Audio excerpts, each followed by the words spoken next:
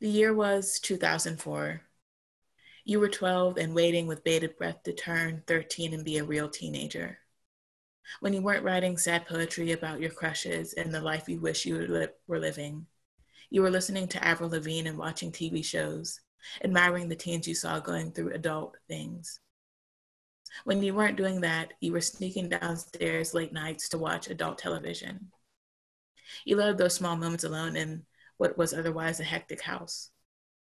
One day, as you were flipping through the channels, um, you stopped at something that you'd never seen before and that caught your breath in your throat.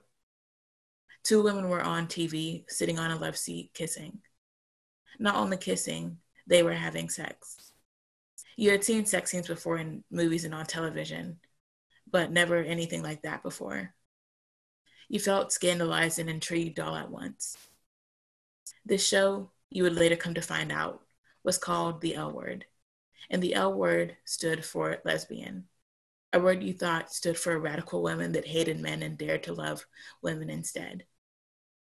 Your picture of what a lesbian was had been incredibly biased by media that showed lesbians as pining and predatory. You didn't want to be one of those women, but you feared you were, and had for many years. Seeing this particular scene on this particular show was just a sign that everything you feared was true. Your best friend, Kate, had already come out to you as bisexual at the time. You were still in middle school and struggling to find a community that you felt you fit into. And you had been struggling for years to not appear gay to your friends and family. Back in 2004, people were still saying that's so gay as an insult and using homophobic slurs in casual conversation. To be out and gay then was a scary thing, but something told you to come out anyway. Despite your own internal bias and fears, you knew something about you was different and needed to be addressed. You were brave and decided it was time to tell someone to tell someone the truth, namely your mom. She, unfortunately, did not react very well. She told you not to tell your dad. That was the first thing she said. And that you were just following a trend, that it wasn't real, and that your feelings were just a part of something that teenage girls go through. Every year after that, she would check in with you to see if you were still having feelings for girls. And the answer was always a resounding yes. When you got to high school, things changed.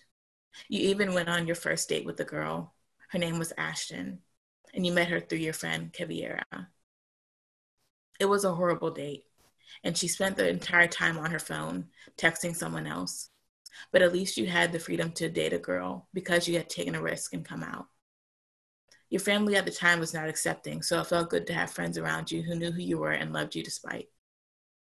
In college and beyond, you began to understand the importance of what we call chosen family the people in your life friends and partners, and even some family members who have become your center and safe haven. They are the people you come to when you are troubled, scared, and confused, when you need life advice or just a shoulder to cry on. Now your life is filled with the sense of security you were searching for. You still talk to some of your brothers and, had, are a godmom now. You are living your dream as a writer for a cool gay media outlet. You even have fallen in love once in your life. And though it ended badly, it wouldn't have happened if you hadn't taken the risk in telling your mom those fateful words that day. This life is your reward, and I owe you so much of my happiness today, and your bravery is part of why I am where I am today.